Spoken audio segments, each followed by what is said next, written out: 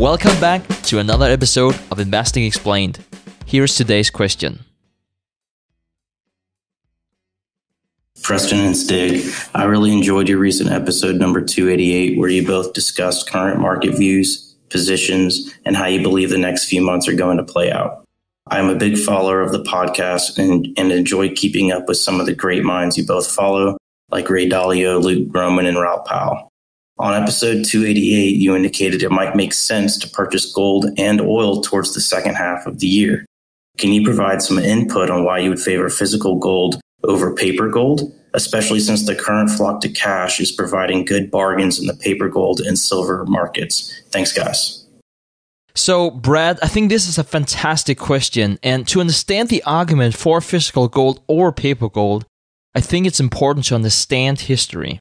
The US dollar replaced the British pound sterling as the world's premier reserve currency back in 1945 in accordance with the Bretton Woods agreements. And at the time, the US dollar was the currency with the greatest purchasing power and the only currency backed by gold. But in effect, the world was pegged to gold because other currencies were pegged to the dollar. Now, throughout history, you have multiple currencies that have been the dominant currency. For instance, in the 17th century, it can be argued that the Dutch currency was even the most important, as the credit system was reinvented by the Dutch and the enforcement of credit claims were honored no better place in the world. Now, my point by saying that is that believing that the US dollar will forever be the world's most important currency in its current form is just very, very unlikely. The recent biggest change was in 1971 when Nixon took the US off the gold standard. Yes, it was still called the US dollar before and after that, but it was a very different currency than it was before. Because we entered the realm of fiat currencies where central banks around the world could print infinite amount of money. And perhaps that is best exemplified here in the corona crisis where money has been printed at unprecedented levels. So when we look back in history, which currency has maintained its purchasing power? Gold has, and gold has for thousands of years. So when we talk on the show about the risk of hyperinflation, one way to hedge against that is through gold. And just for the record, I would like to say that I think the inflation numbers can go much higher than today, but anywhere near the hyperinflation rates that you have seen with hundreds of percents in annual inflation or even higher than that, I think that is very, very unlikely in the US. But I do think that we will have more inflation in the time to come, or at least there are significant risks that we'll have more inflation in the time to come. And especially in the case should hyperinflation happen, physical gold becomes much more attractive than paper gold. Because as soon as you have gold in the financial system, say through an ETF like GLD or through a derivative, it doesn't mean that you have access to the physical gold when push comes to shove. And that's whenever you need physical gold the most. So even if you do own gold on paper, it won't really do you any good if the government takes away the gold from you. And if you don't think that's possible, consider what happened in 1933. Through the Executive Order 6102, President Franklin D. Roosevelt made it a criminal offense for US citizens to own and trade gold anywhere in the world, with the exceptions for some jewelry and collector's coins.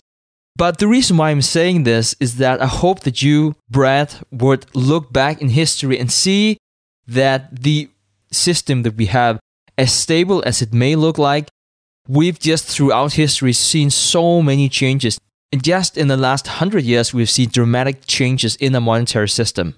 So, physical gold does make sense over paper gold, even though it can be a little more troublesome to own it. Now, I would like to end my response with a quote from Ray Dalio If you don't own gold, you know neither history nor economics.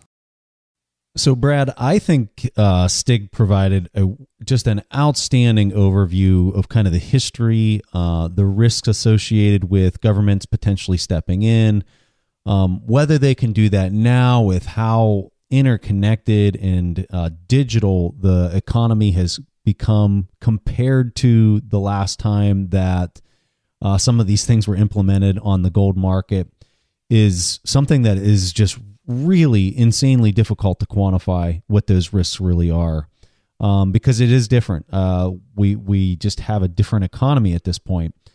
Um, I don't know that I have a good answer for you. I just when I look at the physical gold market versus the paper market, um, these are my concerns with the physical gold market is just the speed at which you can receive your payment. And if there would be something else that would that would take off uh, other than physical gold your ability to sell out of that position due to the speed at which you can settle i think is a concern for me personally. Um, on the paper gold market the the big story right now at least for the last month has been uh, the separation between the the premium that you actually catch on the physical market versus the paper market. Now, whether that trend persists or not, or what's even driving that, is yet to be determined. And I don't think anybody can say with a whole lot of confidence what's driving that. Um, if that trend would continue to persist in the coming months, I don't know. I think that's a little bit concerning. So I don't have a good answer for you. I'm like everybody else, kind of standing there on the uh, from a side, kind of looking at what's happening and saying, "This is very interesting. this is very fascinating. What's taking place."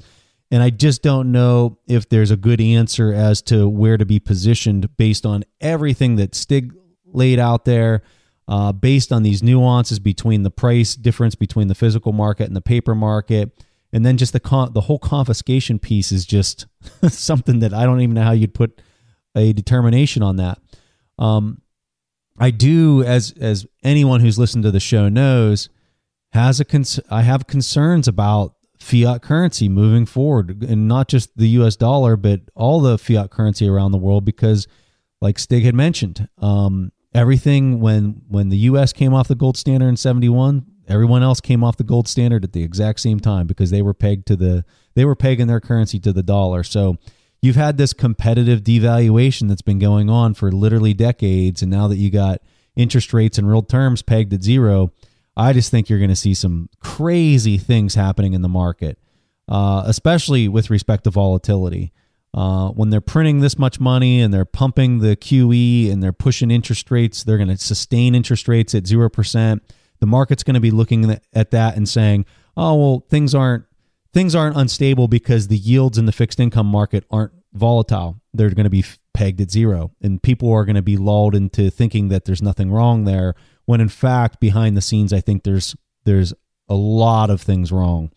Um, and then what's the implications of all this universal basic income that's that's rolling out and what does that mean and there's there's so many unknowns this is so crazy that what we're seeing um, i just don't know that i have a good answer for you so uh, those are our thoughts. That's how we're looking at all the different variables, and maybe it's helping you determine uh, where you maybe you have more confidence after hearing all that. That's it. Preston and I will continue explaining investing, so go ahead and hit that subscribe button.